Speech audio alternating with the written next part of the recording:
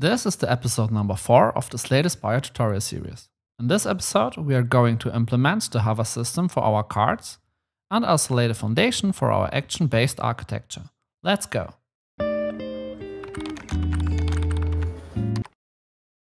For the hover system, let's first create a new script in our systems folder. Call it CardView System. To be able to access it from everywhere, we make it a singleton. Then we also create a reference to a card view. We will have a card view in the scene that is slightly larger and only has the purpose of being used as hover card view. We will also have the show method that enables the card view and sets it up.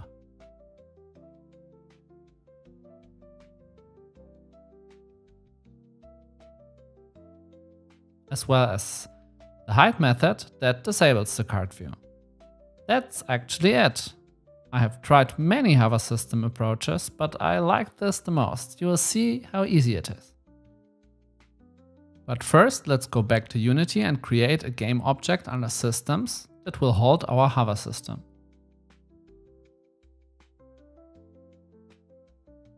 We then also drag our card view prefab into the views section of our scene. We will modify it slightly so that it fits our needs for the hover system, but we do not apply those changes to the prefab. The changes should only be for this instance of the card view. We make it a bit larger. And we set the sorting order to 99 so that it's always on top. We also disable the collider. We then drag it into the reference field in our card view hover system script.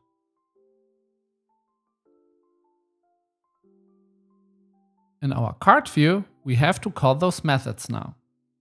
For this, we need two methods, the onMouseEnter and the onMouseExit method. In the onMouseEnter method, we first disable the wrapper so that the card view is not visible anymore We then calculate the position for the hover card view and call the show method of the hover system.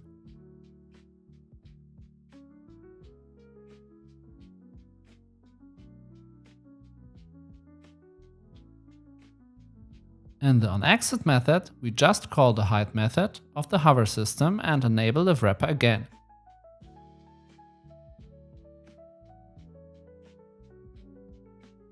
That's it. We can try it out in play mode now. When we hover over a card, the hover view is enabled and we can read all details. We have a really cool hand with nice card views now, but it's not really a game at the moment. We of course want to play our cards, perform effects and attack enemies. For all this, we will use my action reaction system.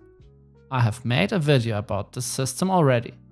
Before you can move on with the next episode of this tutorial, you have to implement the system from this video. You can see the link to the action system video now in the top right corner or in the video description. We will need the system exactly like in the video.